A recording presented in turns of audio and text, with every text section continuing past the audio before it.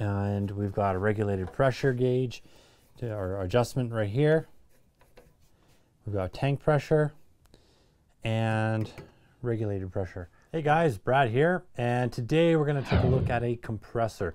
This happens to be one of my favorite compressors that I own. This is the four gallon DeWalt uh, dual tank. The code on this is the D55 154, and it's a really great compressor. Um, I've had this compressor for probably at least five years now. I had one of these prior to that. Uh, the reason why my last one burnt out on me, or broke, I should say, is because I'm really bad at draining tanks. So, number one thing with compressors is drain your tanks. Even though it's a pain in the butt and sometimes it makes a big rusty mess on the ground, you really got to make sure you drain them. And on this particular model, the drain is right there. So you just pull this down. Now I'm not going to do it because it's loud and I don't want to screw up my nice table, but that's where it is on this particular model. Now I, I love this compressor for the main reason, which is the way it's built. And that is having this nice sort of top on it here. Um, I can carry my hose reel with me when I'm going into a job site, just like this. Or I can chuck a TSTAK on here, no problem. I'll grab one. Uh, TSTAKs all around me, just gotta grab one here. So I can grab TSTAK, slap it up there, or a couple. Now it doesn't clip in, but I bet you if I spent some time, I could probably rig something up here so that I could. But you get the idea. It's just another way for me to carry my tools into my job site with minimal trips, right? That's the whole idea behind having all these TSTAKs and um, boxes on wheels, essentially.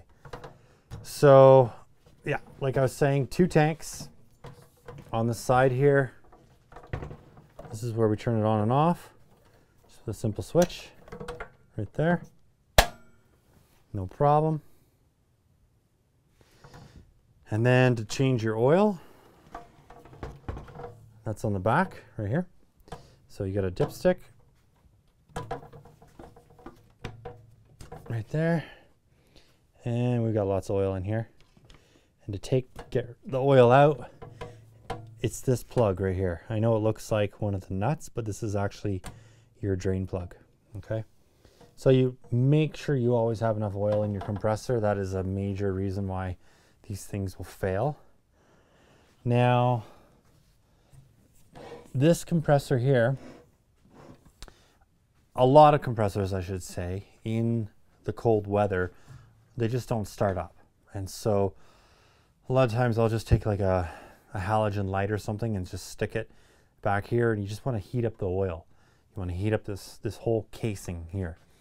Uh, or you just take a little heater, make sure you're far enough away, and you just heat this area up. Now, this compressor will trip very easily if it's not uh, getting enough juice, enough power. Um, so back in here, a lot of guys don't know this, but the, there's a little fuse right up in here. You can see it. It says 16 on it, that little white dot. So a lot of the times this will blow that's like your breaker. It'll pop before you pop the breaker on uh, your electrical panel, which is a very good thing. Um, so if you're looking for it, that's where it is. That's kind of hard to find, especially if you don't have instructions. So that's probably the biggest problem I've ever had with this is sometimes starting it up, they draw a lot of power and it can flick that that breaker in, in someone's house. So, you know, you want to make sure you're on a decent plug, like in the garage where there's not a lot of power being drawn. So typically you can get a lot of juice from there. Um, sometimes outside plugs are okay, depends on the year of the house. If it's a newer model home, then you'll probably be okay because those are typically wired just all together, all the outdoor plugs. so you know that that's one circuit. Whereas the older homes, when you're hooking up to a house, typically that's like connected to the living room, connected to the kitchen, and it's already drawing a lot of power. So that's why you typically blow the breaker. You just got to find a plug that's not being used that much. So little tip for you. Um, go back to the compressor. We've got two female outlets right here. And we've got a regulated pressure gauge to, or adjustment right here. We've got tank pressure and regulated pressure. Now I believe, I'm just gonna check my notes here, I think it goes up to 125 PSI. Yeah, 125 PSI. It weighs 87 pounds and the decibel level on this is about 83 decibels. So it's not super quiet, um, but it's also not super, super loud. It's just sort of right at that regular compressor decibel level, which is super annoying. Um, what else can I say about this thing? Yeah, you got regular tires here that you could just fill up with air. These aren't airless, so got to keep that in mind. This one's nice and full. My right one's actually flat, so I got to repair that. And yeah, just all around great compressor. I, I really like these guys. Had them for a long time. The Emglo is, is a decent brand, and um, I got nothing bad to say about them. I, I have a, a belt-driven Emglo as well by DeWalt, and that thing is amazing. It just goes and goes and goes. So another great compressor. So yeah, guys, let me know what compressors you guys are using. Um, I know there's so many out there. This I wouldn't recommend this compressor for roofing or you know repetitious nailing, framing even. You want something bigger. Yeah, I was just pulling this down. This goes down too, if you're wondering. There's some knobs on the back. Show you all the features. Okay, that just locks in place.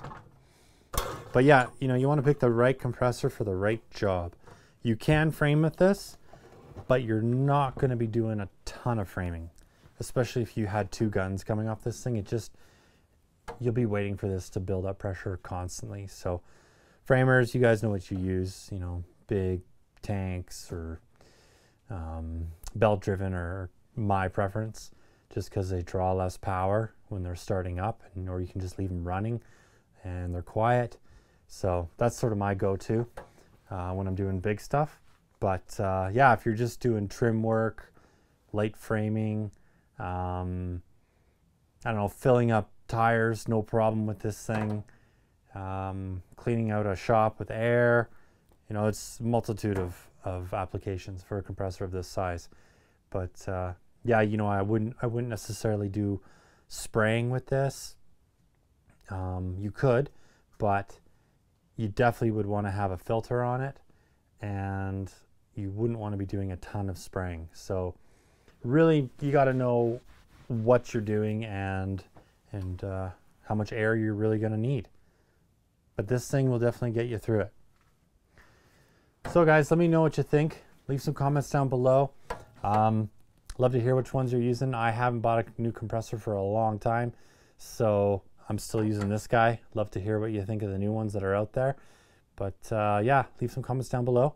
Subscribe, hit that notify bell, give us a thumbs up if you like the video. Until next time, keep on crushing it. We'll catch you later.